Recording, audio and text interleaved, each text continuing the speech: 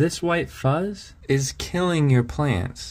But we can fix it. Grab some isopropyl alcohol and a few of these. I recommend giving one to your cat to distract it. These are mealybugs. They're nasty little guys that will infect your plants and they'll often show up as white specks or little bits of cotton. If you get just a bit of isopropyl alcohol on a Q-tip, then you can watch them die.